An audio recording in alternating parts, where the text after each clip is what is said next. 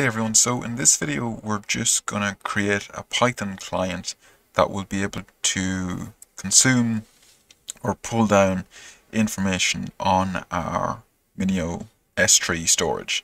So just to go through it really quickly, um, because we have talked about it in previous videos, we've spun up uh, an instance of Minio. It's a, it's a Docker container that's running locally and we've just created one bucket um, and with inside this one bucket uh, we've called it bucket 1 we have a file and that file is called test file 123.txt and within that text file there's just simply uh, a short little message and we can see it says this is a test file. So now that we have that up and running um, we have tested it out with things like Postman before, where we can go and try and request this file and, and then we can see the contents of it. And we can see that by this here. And we talked about how there was a need for an access key and a secret key because this bucket um, within Minio, this bucket 1 is protected. So it does have to be supplied with some sort of authentication to get access to the file. So we're going to do something very similar today. I'm just going to expand this. We're going to do something very similar today, but rather than just using something like Postman, we're going to use a programming language so that we can access this file. And then once we have this file uh, within Python or within Java, or whatever you're using, then you have the ability to do whatever you want with that file. So, for example, you know, if we have the file that we can view it via curl command or via postman, it's it's okay. You can you can view files or whatever. But let's say we had many text files that we had up on Minio and we wanted to go and analyze those text files. So we wanted to go and parse through them. We wanted to look for some particular type of information or, you know, anything you can imagine. You really need it in some sort of environment where you can go and view that data and manipulate that data uh, programmatically.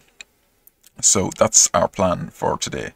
Today we're going to be using Python. So I'm going to be using PyCharm because it's it's the Python uh, IDE that I'm most familiar with. But of course, this this um, syntax uh, will work with any IDE you want to use. You don't even have to use an IDE. So the first thing that I want to maybe direct you towards is the website where I've found this information here. So if I just drag this onto the screen now, this is where I started doing some research. So within the within the it's actually the, the Python documentation it's the Python AWS documentation. There's this library within Python called boto3, uh, BOTO3. So we need to import this Python package using pip or, or something like that. And then we need to provide it some variables. So this is what you would use for AWS and you more or less use the exact same thing for Minio, but since Minio is a little bit different to AWS, I had to go and find uh, another little bit of documentation just to provide a little bit more detail. And this is the Minio documentation. So you can, if you look at these yourself, um, if you're interested, you will see that they both use the same Python package um, Boto3 or, or however you pronounce it. And when we're creating our resources, we do something very similar. We have our endpoint URL, we have our AWS key, you have our secret access, and you'll see even within Minio, when we're using it, it refers to the key and the, the access key and the secret key as an AWS uh, key. So we can we can simply just copy this and I'll leave these links in the description if you're interested to maybe read a little bit about it or um, follow along with it. So I'm just going to take this off the screen now and I'm going to open up uh, our PyCharm again. So I'm just going to paste this straight in here.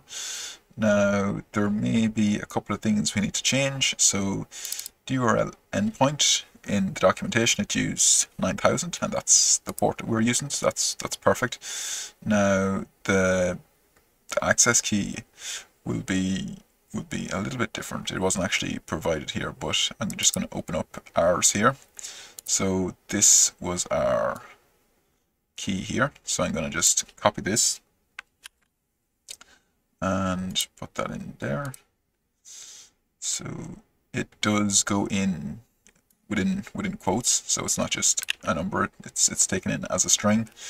And then if I go back here and I grab the password, just copy that, or the access key, as it's called, and put that in. Then we've got this config, so this stays exactly the same. And then we have our region, and the region stays exactly the same as well. So one thing we need to do is we need to actually import this library. So in in PyCharm it's quite nice. It, it gives you the prompt to just go and import it like this. Now you could also do the same on the command line like this. You could type in pip install and then put in the name of whatever package you want. So, you know, like this. But we don't need to do that. But if you're using something different, maybe maybe try that, that pip command instead. Okay, so now that we have got that, we can now go back to the, the documentation. So if I just flick back here, you can see for us to upload a file, this is what we would do. But in this example, we're going to download a file because we have actually manually uploaded a file before in one of our other videos. So we're just going to go and copy this here. So we're going to copy this and open back up PyCharm and paste it back in here. And you can see that S3 is our variable, our bucket, so this is going to have to be our bucket name. So our bucket name is bucket1. So, uh, and if you're wondering where bucket1 is coming from, uh, we we go back to our, our Minio here. This is our bucket name, bucket1, and then our text file is here. So I'm gonna I'm gonna copy that because we're also going to need that name in a second as well. So we're, we know that we have to go to bucket one and then we want to mention the name that we want to download. So it's test file 123 and then this is the path where we want to download it on our local machine.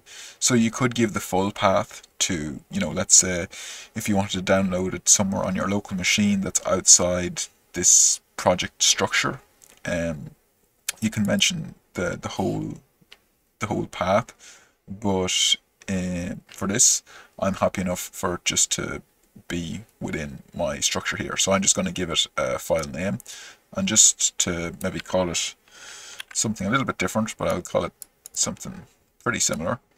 So I'll take that away and I'll just call it test file 123 4. So rather than just having it 123. And now if I run this, I probably we're having an issue with just this config here I see. So this is just another uh, library that we need to import and that looks pretty good now I think so we'll give this a run and see what happens. So at the minute you can see we've just got this test s3 access.py file. We've got nothing else. So we're hoping to see our our text file that's up in Minio to be downloaded here um, when we run this. So if we just run this we can see that our file has been populated. And it's called it uh, test file 1234 anything.text, but this could be anything. So if I change this to anything.txt and run this again, you can see now we've got two files. And if we open up test file, uh, it says this is a test file. And if we open up anything, this is also uh, the exact same content.